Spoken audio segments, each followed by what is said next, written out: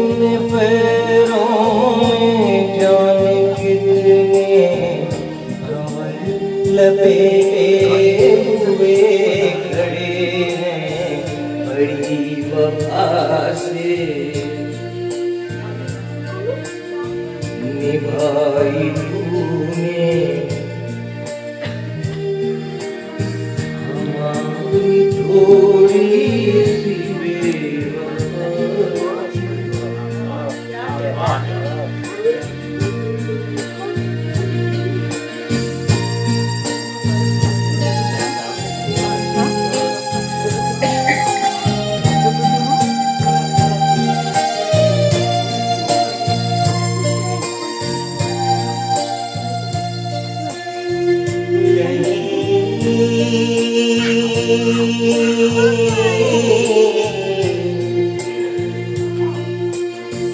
कहीं किसी रोज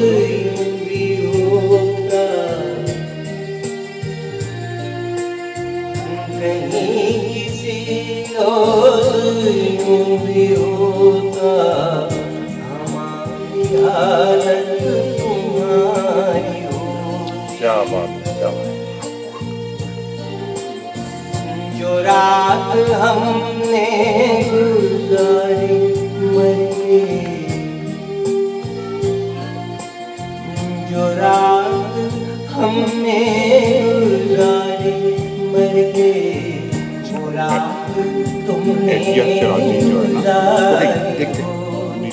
सुनाई। बाबूलाल के साथ। आसरे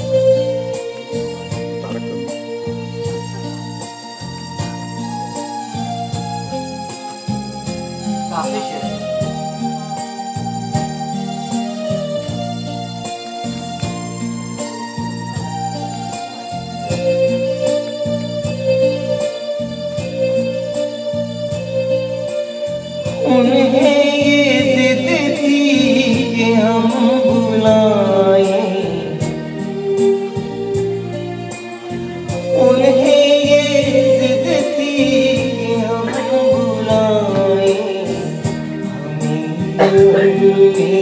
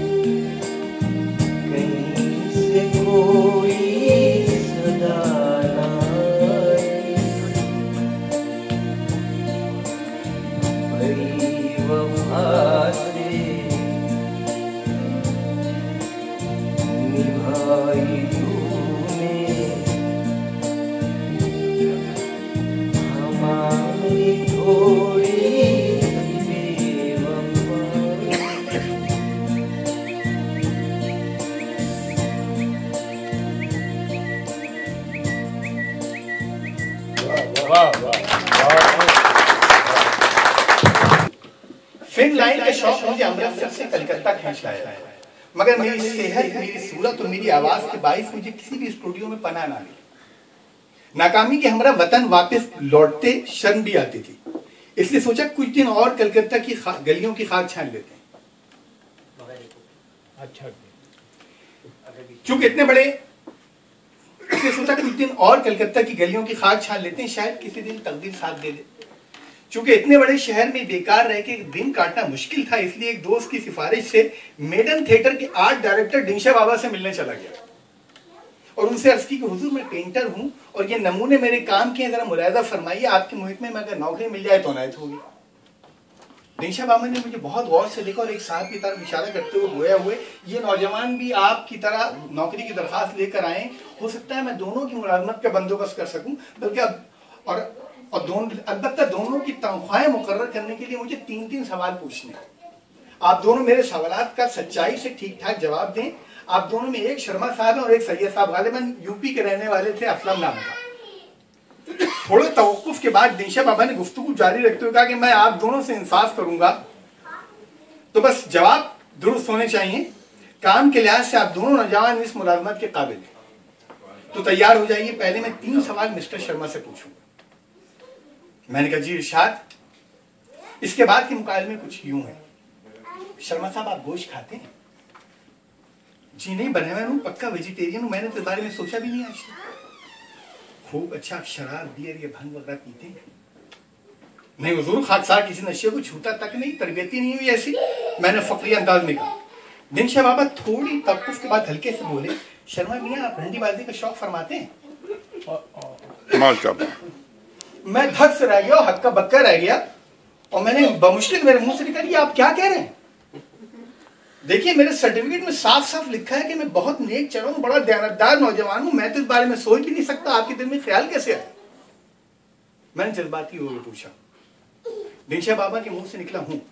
फिर उन्होंने बड़े गौर से असलम की तरफ़ देखते हुए कहा गोश्त तो आप ज़रूर खाते होंगे, मुसलमान जो ठहरे। अब ये पूछना है बियर या शराब? थोड़ी देर तो असलम खामोश है, फिर सर झुका कर निहायत सादतमंदी जवाब दिया, जनाब गाय बगाए। कभी ठर्रा नसीब हो जाए तो दो चार घूट लगा लेता हूँ।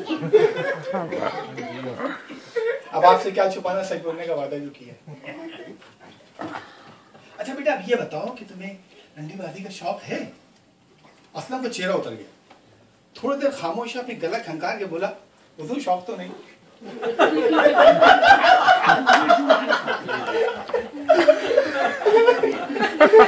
आदत भी नहीं। अलबत्ता जेब में नकदी हो तो ज़रूरत बहु बाज़ार हो गई कोई इंसान हूँ, फरिश्ता तो नहीं। क्या बात। दिनशा बाबा के चेहरे से साफ़ लग रहा था कि वो मेरी बुलंद किरदारी से हर दर्जा मुतासर और ये कि असलम के बरखिलाफ मेरी नौकरी बिल्कुल पक्की है असलम की हिमाकत पे अब मुझे उससे हमदर्दी महसूस होने लगी थी। पर दिनशा बाबा का फैसला सुन के मैं हैरान हुआ आप दोनों को मुलाजमत दी जाती है। मिस्टर शर्मा, आप बहुत अच्छे पेंटर हैं, इसलिए आप, आपकी तनख्वाह सौ रुपए माहवार मुकर की जाती है। और सही साहब का काम भी बुरा नहीं है, उनको फ़िलहाल दो सौ रुपए महीना दिया जाएगा। उनको फ़िलहाल दो सौ रुपए महीना दिया जाएगा, काम अच्छा और मेहनत और मेहनत से होगा तो दोनों को तरक्की भी खूब मिलेगी।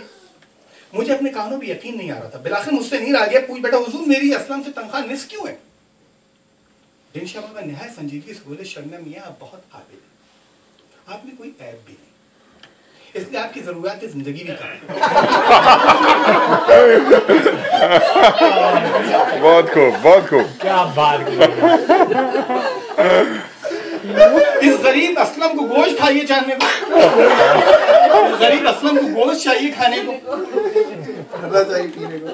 कभी कभी उसका शराब को भी मन करता है। उसको शराब भी मैसर आनी चाहिए।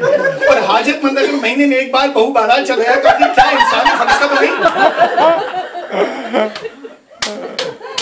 है, इंसानी फरिश्ता तो नहीं। बात मैं अभी दिनशा बाबा समझ गए शमा साहब मैं अभी दिनशा बाबा के इंसाफ के बारे में सोच ही रहा था कि वो किसी काम से उठ के बाहर चले गए।